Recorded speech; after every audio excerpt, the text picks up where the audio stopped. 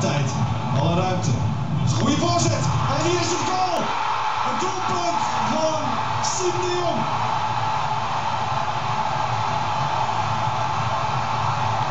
Ajax leidt. En gezien het spelbeeld is dat een logische voorsprong. De titel komt naderbij. Een perfecte voorzet van Van der Wiel. Scherp.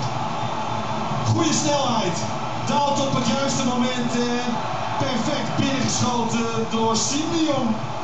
1-0 voor Ajax.